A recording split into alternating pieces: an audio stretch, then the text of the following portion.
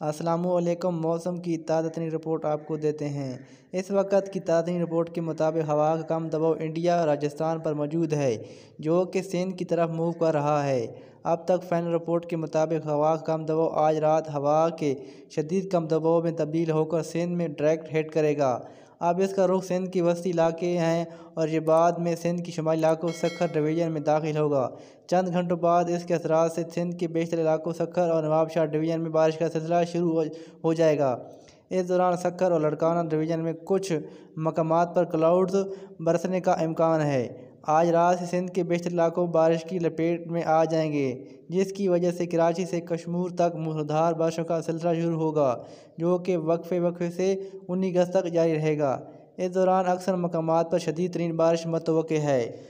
अब बात करते हैं पंजाब की मजीद आने वाले अगले चौबीस घंटों के दौरान हवा के कम दबाव की वजह से पंजाब के ज़्यादातर इलाकों में गरज चमक के साथ बारिश और आंधी का अमकान हैं। मानसून का सिलसिला आज शाम रात से जोबन पर होगा, जिसके बायस आज शाम से पंजाब के मुख्त इलाकों में बारिश का सिलसिला शुरू हो जाएगा।